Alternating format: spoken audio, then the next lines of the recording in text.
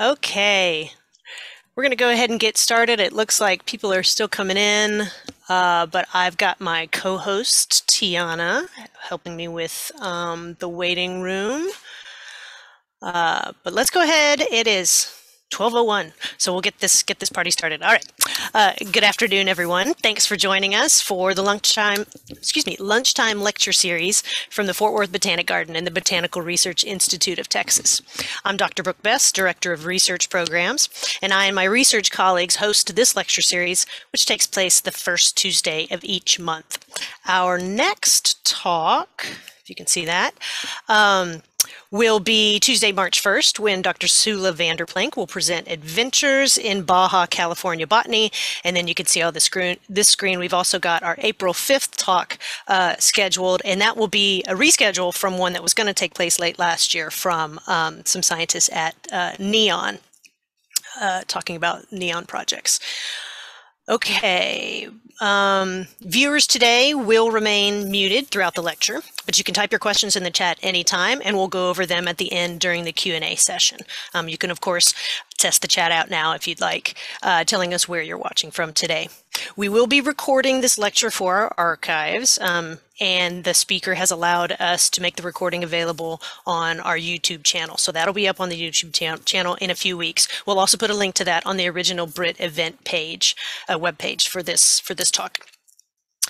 Uh, you know the drill. If something happens, if you get cut off, you can just exit uh, and, and use the same link to come back in. If something gets choppy for you, I would uh, uh, advise you to close down other applications and to turn off your video if you have that on. Um, all right, well, without further ado, let's get started. Uh, it's my pleasure today to introduce our speaker, Nathan Taylor. Nathan's a PhD student in the Department of Plant Biology, Ecology, and Evolution at Oklahoma State University, where he works with Dr. Mark Fishbein.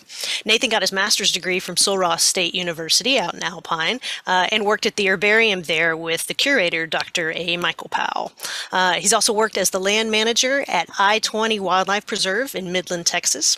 Uh, Nathan is interested in most plants, he says, uh, and enjoys the challenges of identification, but his primary interest, I do believe, is in uh, euphorbia, specifically the section, is it anisophyllum or anisophyllum? Anisophyllum. Anisophyllum. Yep. Yeah, uh, formerly known as Chamaesyce, which we all love, um, which is one of the topics, of course, he'll be discussing today. So, Nathan, I will hand it over to you now, and welcome. Let's see, I'll stop sharing. All right. Well, thank you all for coming and thank you, Brooke, for that uh, wonderful introduction. Um, so today I'm going to be talking about euphorbia section Anisophyllum, of course, um, but today I'm going to be focusing primarily on identification, um, particularly connecting text, uh, sort of traditional taxonomic methods with iNaturalist. So in order to do that, I'm going to um, give you a brief introduction to the section, tell you what it is. Then I'm going to talk about the herbarium and field studies, um, mostly that I went through during my master's. Um, and then I'm going to be talking about uh, connecting that research to iNaturalist, and then I'll conclude. All right, so first off, what is euphorbia? So euphorbia is a worldwide genus um, of about 2,000 species. It is a giant genus. Uh, it's one of the one of the largest um, in the world. It takes on a lot of different forms, including herbs, succulents, shrubs, trees, um, and with that, we also have a lot of photosynthetic systems. So the succulents, um, of course, have CAM the most herbaceous plants have C3 photosynthesis, but in the section that I'm studying, which we'll get to in a, get to in a bit, they have C4 primarily, but also have uh, a handful of species that have either C3 or C2 photosynthesis. All right, so what unites euphorbia into this huge diverse genus? Well, that would be the cyathium. And if you look at these little arrows on the lower right-hand photo, those little things are the cyathia. So what is a cyathium? So a cyathium is an inflorescence. And on the outside, you have this involucre. So you have five fused bracts. And in between, you have uh, glands. Now, depending on what group you're studying, you may have five or four or even three or one. In section film, they have typically have four, um, and then they have this little tiny appendage that uh, is considered a rudimentary uh, fifth gland in quotation marks. Um, so yeah, that's the that's the involucre. On the inside, you have staminate flowers, each consisting of a single stamen, and each sits upon a pedestal, um, also commonly known as the androphore or androped. Um, and then you have a central pistillate flower, which sits upon a pedestal again, commonly known as the gynophore or gynoped. Now, there's a lot of diversity in Cyathium structure. These are all from section Anisophyllum. And what you'll notice that I didn't show in the previous slide is some species have these large showy appendages on the glands, um, but some of them don't. These are commonly called either glandular appendages or petaloid appendages. Okay, so that's the Cyathium, that's Euphorbia. Now let's get into the characteristics of the section. Now there are a lot of a lot of characteristics that set this apart from the rest of the genus. The first one is sympodial branching, and that is where you have a stem that terminates in a structure or lack of a structure, and then it branches out from side branches. Uh, it, br it branches out from the axillary branches. Um, now, in section Anisophyllum, it's pretty interesting because it actually has sympodial growth all the way down to the second uh, second node.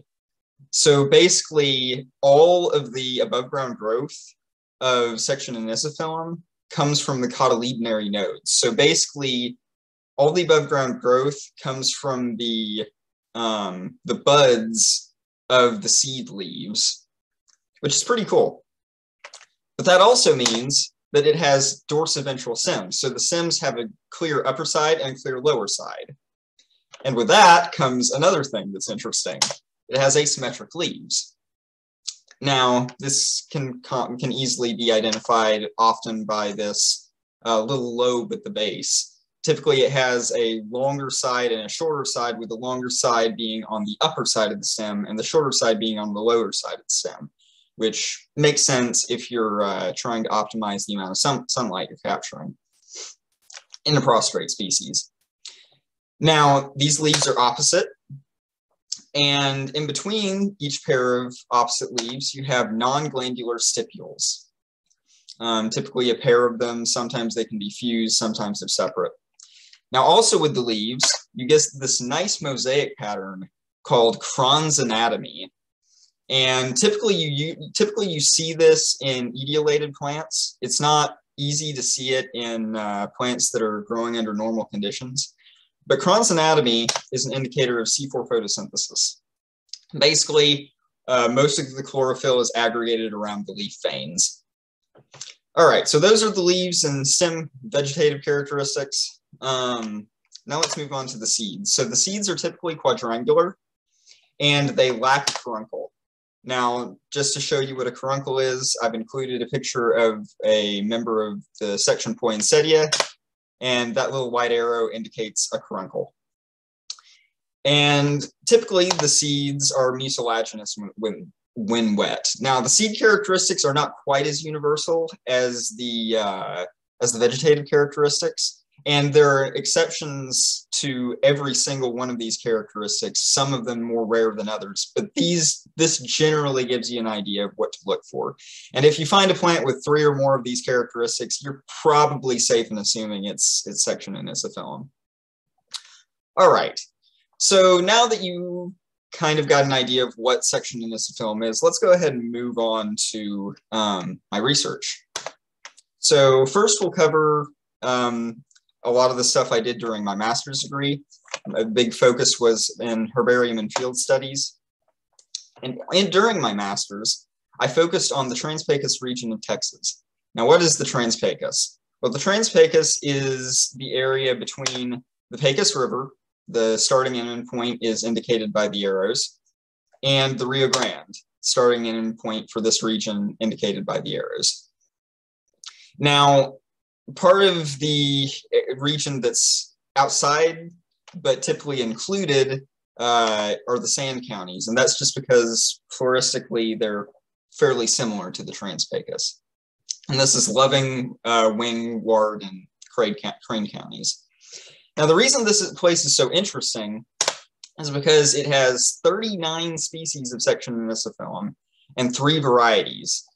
Now, it's uh, that so that's 42 taxa to study um, in this one region alone. That's more than any other state in the U.S. Um, and nine of those species are endemic to the region uh, within the U.S. So pretty good, pretty good place to, to study study the, the group. And let's move on to the methods. So how do you sort of identify a plant? Um, that's really been a major focus of mine, and this is sort of the theme of this talk: is how do you identify these plants? Well, under most circumstances, uh, let's say that the traditional methods, um, you learn the morphological concept of the species by comparing um, across many different herbarium specimens. Um, you do review the taxonomic lit literature, and you you link those specimens and the concepts of those specimens back to the specimens cited in the literature and the type specimens. Now, for right field identification, you typically just find a plant, make a specimen, key it out using the taxonomic literature, and then compare uh, compare those with the, the herbarium specimens. Pretty straightforward. So a lot of my work um, took place at these various uh, herbaria. Um, I visited a lot of a lot of herbaria during during my master's degree, but in particular, I focused on Ross State University because that's where I was based at the time, and it just so happens that ha- that that has a lot of specimens from the Trans-Pecos. Go figure. Um, there are about eight that when I tallied these numbers during my master's, there were about 1,800 specimens of section Anisophyllum at that herbarium, and at least 1,700 of those were from the Trans-Pecos. Um, and this map to the right shows about the 20 or the 200 georeference um, specimens from that herbarium. All right, so I also looked at a lot of online herbaria and have seen many more since. Um, but that gave me access to many of the type specimens for, for this work. All right, so let's move on to field work.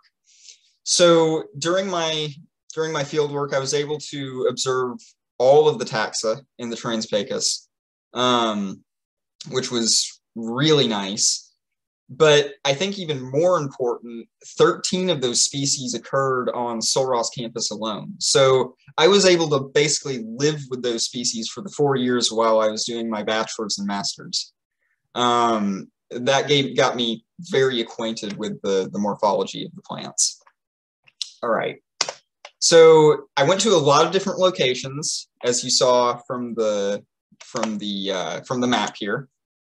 But some of the more noteworthy locations, um, these these sand dunes in Crane County, uh, Utah was a very important place for one aspect of my work. Um, but you'll notice that some of these are really scenic. Some of these are much less so. So the place in Tucson, Arizona, um, this was literally a hotel parking lot, and there were like five species growing there. And uh, you know these these plants will a lot of these plant species will grow anywhere, um, which is really nice for me because I can just you know go to a parking lot and there you are. Um, but yeah, so I, I visited visited these lo locations to get some sense of uh, what the plants looked like in the field. All right. So here are some of the key findings. Um, I want to go over this uh, briefly. I could go into it a lot in a lot more detail, but I uh, want to save plenty of room for iNaturalist. Um, so just briefly, Uh, three new species to Texas, Euphorbia ophthalmica, a weedy species um, that's primarily in the eastern half of Texas, but there are some waifs to, to West Texas. Uh, Euphorbia vermiculata, previously only known from um, New Mexico and Arizona in the southwestern United States. Euphorbia abram and Euphorbia abram abramsiana, which has actually been collected in the region since the 1900s um, by Mary Sophie Young, but uh, hasn't been recognized until recently because Johnston considered it a, uh, a rare aber aberrant form of Euphorbia glyptosperma. So that was a fun, fun little project. Um, the other thing that I did is I was able to get some better elaboration on the Euphorbia fendleri um, complex, species complex. It's a very diverse group that um, ranges throughout the western half of the United States.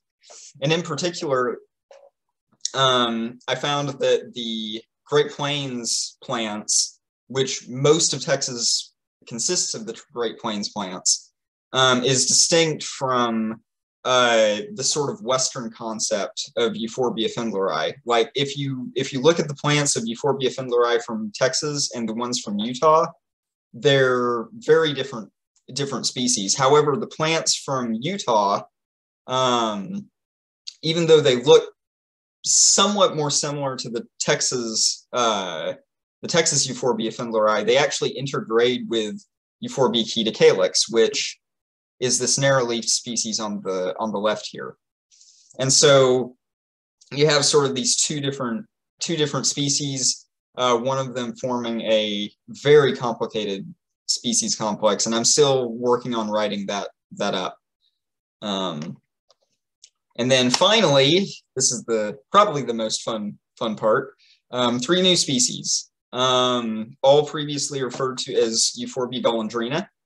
So that's this species on the right here, which is rare and restricted to Boquillas Canyon primarily. Um, Euphorbia cryptorubra that was published in 2016. Um, that one is that one's represented by the blue dots on the map. Um, the Euphorbia species nova 1, um, that occurs only in Big Bend National Park. That's the red dots here. Oh, if my cursor will come up. So that's the red dots. And then the Euphorbia species nova 2 um, is the yellow dots here, but it ranges all the way into New Mexico and Arizona. So that one's a that one's a pretty cool cool species. Note that the characteristics, um, there are differences in characteristics of the seeds um, and some cyathial characteristics that are that are different. All right. So the ne next thing I want to talk about is sort of the key characteristics that um, I found needed greater elaboration or were useful. In particular, leaf maculations. They're underutilized as a taxonomic characteristic. And even though they're not consistent, their presence isn't consistent, their shape is often consistent. So like here, this sort of splotchy pattern only er, primarily occurs in Euphorbia abramsiana whereas in other species you may have this more linear um, linear shape. Also, the species that produce maculations can either produce them or not, but there are some species that never uh, never produce them, which means that you can sort of exclude that species, those species, if you have a maculation present.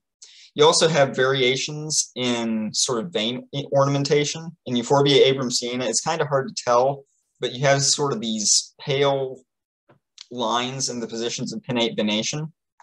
And on Euphorbia hyssopifolia here, you have sort of this pale line over the midvein. All right, so the next characteristic I want to talk about is habit. And this is used as a key characteristic, but there are some difficulties that aren't often elaborated on. So first of all, um, erect plants can grow as a consequence of uh, etiolation or of drought. Um, either process can make those plants grow straight upright and you'll key it to the wrong spot if you have that characteristic in your key.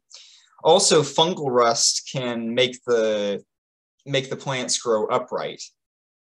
Now, there are a couple species that will grow prostrate regardless of whether they're experiencing etiolation or drought, but they will grow upright when experiencing the rust.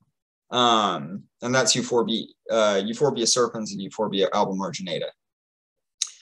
All right, so that's sort of a review of my master's work. Um, and now I want to get on to the what I consider the fun part, which is the iNaturalist um, stuff. So in, I think it was 2016, uh, I just got out of my master's degree and I moved to back to uh, the high plains of Texas. And uh, I found myself um, pretty far away from any local herbaria. And uh, so I, decided, stumbled on iNaturalist, and that sort of, in some ways, um, filled that hole in my uh, uh, in my heart for uh, identification. So um, it it, fill, it it it scratched that itch, so to speak. Um, so let's go over a, a, an introduction of what it is. So first of all, how does it work? Really simple. Someone takes a photo of an organism, uploads the photo and the metadata, and creates an observation. That's a unique occurrence. Um, and then members of the community come on and identify those observations. So what is iNaturalist? It's kind of kind of hard to hard to say, but in general, it's a sort of a social networking site for for naturalists. Um, think of it as Facebook, where instead of posting a posting a photo and you end up in a political uh, screaming match, you uh, end up in a identification screaming match, um, or more likely a friendly discussion on uh, on the identification. Um, and then secondarily, it serves as a way of collecting data and uh, storing data, although that's less a focus of iNaturalist and more a focus of GBIF, the sort of storing data part. Now, what's the opportunity that uh, iNaturalist presents? Well, there's a lot of data. Over 89 million observations, over 2 million people who have observed those observations, over 200,000 people identifying those observations, and over 340,000 species represented by those observations. Now, I hope the numbers speak for themselves in saying that that's a lot of data that we, we can hopefully utilize. So let's sort of look at the, the, the benefits and the challenges as it concerns identification. So first, there's a huge sample size. That's a major benefit. Um, and it's worldwide sampling, fresh material, it's really quick and easy to provide, provide an identification. Now, here are the challenges. The huge sample size is a benefit and a challenge. um, but also the identifications are often wrong um, because it is citizen scientists, after all, who are contributing the observation, and there are varying levels of expertise that comes along with that. Um, there's also overrepresentation of common species and uh, urban areas.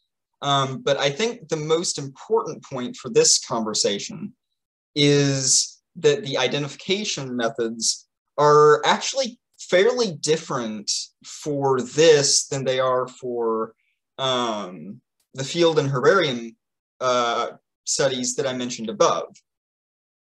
So this pre presents a unique opportunity for sort of investigating how to identify based on photos and connect that back to um, to the taxonomic literature. So let's look at uh, my study system.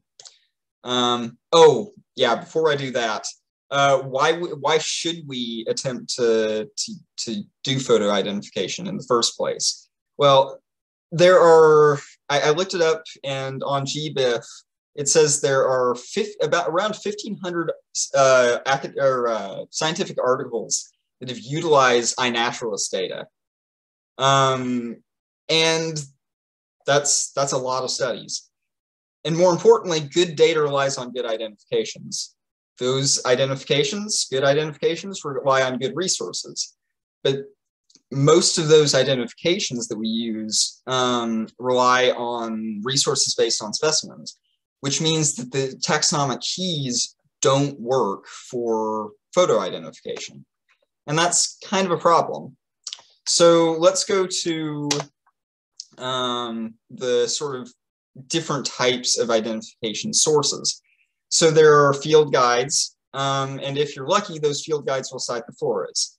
If you're lucky, those floras will cite the taxonomic treatments. And if you're lucky, those taxonomic treatments, well, essentially all taxonomic treatments will cite the specimens. So you're working at two different levels here. For traditional methods, you're operating at this sort of systematic treatment and uh, original specimen le level, whereas typically the resources for photo identification are all the way up here in, photo and field guides. So there's a lot of opportunity for disconnect between these treatments, you know, as you as you navigate higher through the literature. Um, so let's sort of keep that in mind and trans and sort of give give an idea of what uh, photo identification is. So I consider it sort of a, a hybrid form of ID identification where it incorporates the limitations of field identification and herbarium identification all at once. And that's what makes things really tricky um, because you have the limited sampling uh, problem of herbarium identification tied with the limited availability to study characters of the field identification problem. Um, additionally, it's fresh material, and if all the resources are based on herbarium specimens, that contrib contributes to the, the, the difficulty. Um, so yeah, uh, it, if you look at these photos, you've got the specimen, um, you've got limited number of species on this uh, in this canyon. You can look at uh, as many individuals as you want, but you may have limited ability to study those characteristics. But from identifying or trying to identify this photo, this is basically what you've got. You can't really get, you can't always get more information than what's provided here. Okay, now let's try and look at this problem in the context of section anisophyllum. Um, so first off, we have the problem of seeds. The vast majority of taxonomic resources um, require seeds for identification. So if you try to key out those, those plants, it's just not going to work. It, it just simply will not work. Um, you might be able to get through a couple couplets, but eventually you're going to run into a, uh, a seed uh, couplet and you're going to get stuck. Um, also, you can't use measurements on photos unless someone provided the measurements, which is pretty rare. Um, and you also need that for, for identification to work through those keys. Now, the descriptions can be helpful, but they're pretty limited. And in particular, the terminology used is often fairly unspecific, especially regarding the leaves. Um, there are a lot of really old resources I've looked at where um, the the writer didn't even sort of indicate that the leaves were opposite, and from that you can't even tell what section it's in. Um, so there there are some limitations there. And compounding on that, you have variable life stages and growth conditions. So I've told you a lot about the problems, but here's the thing identification is still possible. And I've added a, a lot of identifications, and I think I've been done pretty well at, at doing that. Um, so, what do we need in order to do that? Well, we need a method. So this is sort of my method. I don't know if it's the best method or if it's if you know there's a better way to do it, but um, this method links it back to the herbarium specimens and ultimately to type specimens. Um, and what I first do is learn the learn the species based on the herbarium specimens. That's a pretty important step because you've got to connect it to the the sort of taxonomic tradition. Um, then you've got to you've got to find the characteristics in the herbarium specimens that is most likely to be helpful in photos. Once you've done that, you can use those characteristics to identify the species to photo, uh, identify the species from the photos. Um, and then you can use all those new characteristics to identify sort of photos en masse, however you decide to, to decide to do it based on those characteristics that you found. Now, you can take that a step further, and if you're finding new characteristics, you can start to apply those to other, uh, to see if you can apply those to other populations and other species um, to help you understand those uh, plants better, regardless of whether you're talking about um, field plants, herbarium plants, or photos of plants. Now, here's the, the last, number six is both the most challenging, but the most fun part of the process for me. And that's figuring out how to articulate the characteristics in a consistent way. And iNaturalist actually form, uh, provides a really good forum for figuring out how to articulate those characteristics. And then the last part is, you know, pretty straightforward, writing it down, because if you don't write it down, you'll inevitably forget. so I want to briefly walk you through an example of where I sort of applied these methods. Um, and basically, this is a, uh, a new species from the uh, Baja California Peninsula that uh, I found on iNaturalist and um, in collaboration with Jon Rebman, uh, we're, we're planning to describe. Um, so uh, several, a few years ago, I stumbled across, across this on, on iNaturalist. And when I saw it, I knew it looked different. It looked distinct. Um, however, I didn't quite know why it looked distinct, but I did. Uh, I had started studying the um, the Baja California Peninsula species and knew that it didn't look like any of those. So I immediately contacted Jon Rebman because I knew he was the expert in the Baja California Peninsula, and he thought it was new. Uh, and I co- contacted um, Victor Steinmann because I know he's done a lot of work in the region. He thought it might be Euphorbia serpyllifolia, but he was sort of unsure, and he said that if I thought it was new, then you know I should go ahead and start, or I should I should work on describing it. Well, since I knew serpyllifolia from my work in the U.S., I knew that it was fairly distinct from that. So because I knew all of the species, all the different alternative species, I was able to, to say that this is something new. Now, what are the unique characteristics of this species? So if you'll notice in, in this photo, these proximal leaves look quite a bit different than these distal leaves. Basically, it's got heteroblasty going on here, which is uh, a fancy word for saying that the leaves look different, um, and they look different ontologically.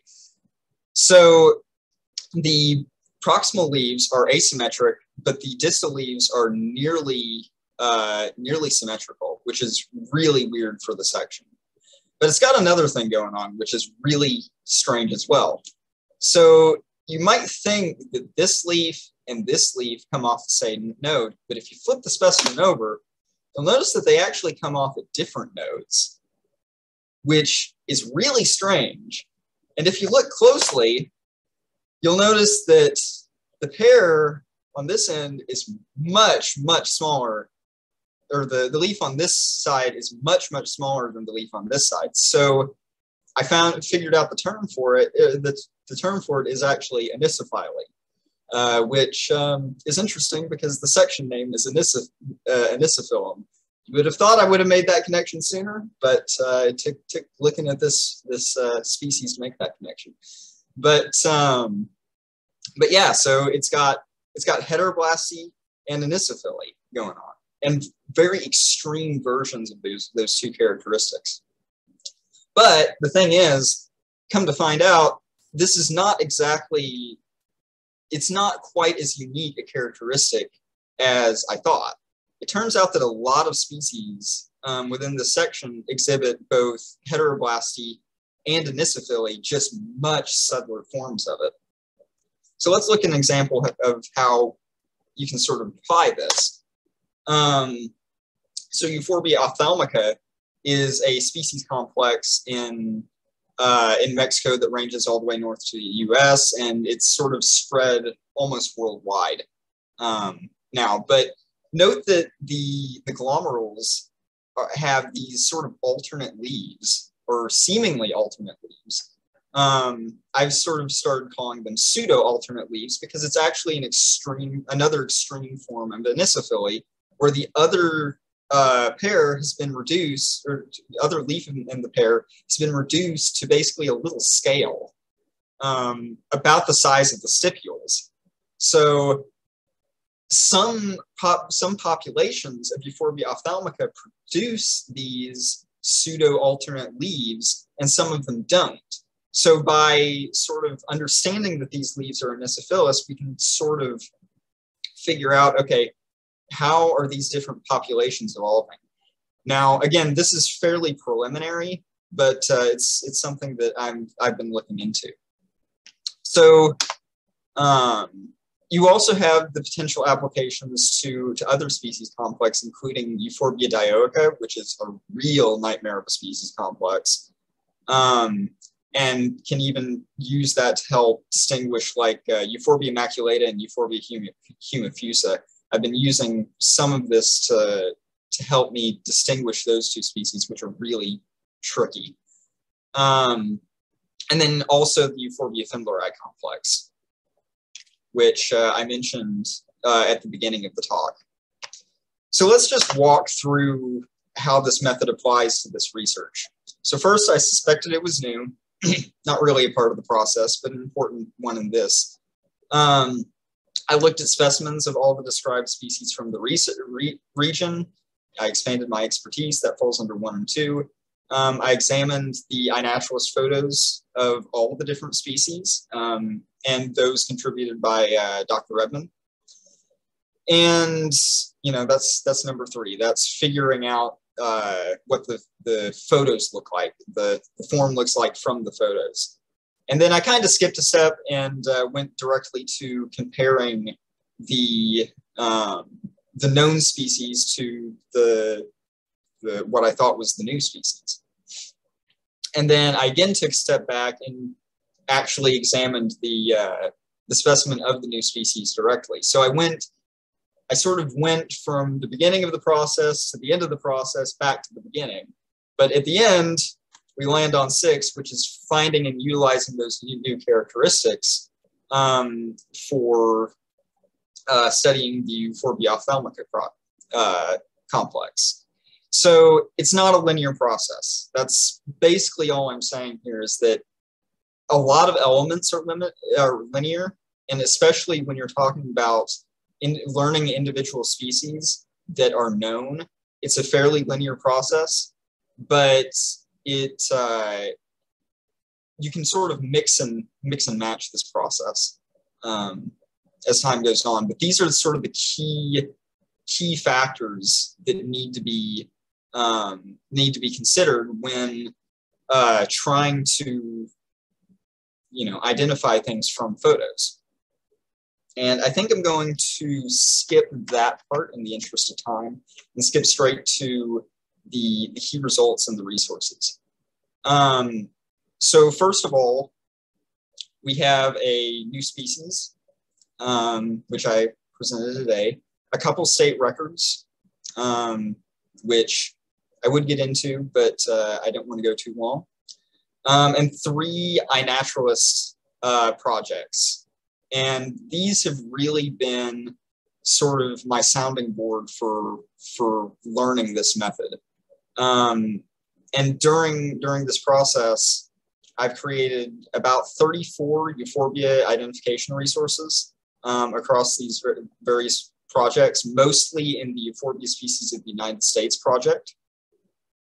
Um, and along with that, I identified about, or I added identifications to about 50,000 uh, section, section Anisophyllum observations for, for reference for, for future um, people wanting to identify um, these the species from photos. Um, but really that process of creating these field guides while identifying the, the species and commun- communicating with the, the iNaturalist community has really made the identification resources uh, quite a bit better. Um, so those are really the two things I'm, I'm most proud of uh, in all this. The, the new species and the state records are in some ways almost secondary to the finding these new characteristics and sort of figuring out the method of identification. All right, so to conclude um, the importance and feasibility of identification. So iNaturalist data is used in research. Um, there are very few sources that rely on, or very few uh, resources that rely on primary um, primary sources for identification from photos. Um, but high quality identifications from photographs are possible. Um, and there need to be more resources sort of aimed at um, high, the, the sort of qual- high quality identification from photo photographs um, based on observations or based on uh, based on photo, the photographs themselves instead of specimens. If we want a, a, very high level uh, or high quality identification um, for for the data that's being produced by iNaturalist. So the on the flip side, looking at the utility of iNaturalist for taxonomists, it facilitates taxonomic refinement. It may lead to new learning new characteristics. And it's just an additional source of occurrence data, which we can utilize. And finally, um, integration of identification based on specimens and based on photos, it provides a lot of challenges but it's a it's a worthwhile process because um, it leads to a more complete view of the organism you're studying. And it ultimately leads to better identification tools that you can you can use um, moving forward. So with that i'd like to thank uh, a lot of people um, oklahoma state university ross state university um, the many herbaria that i visited uh, without the uh, without whose uh, without whose uh, time would this uh, research wouldn't be possible. iNaturalist, the many many observers who have posted um, observations, the the many people who've curated and identified um, euphorbia have helped me in that process. Um, the different data data repositories and I'd like to offer specific thanks to uh, A. Michael Powell, Victor Steinmann, and Jon, Jon Rebman for helpful comments. And with that, I'd like to thank you all for, for listening.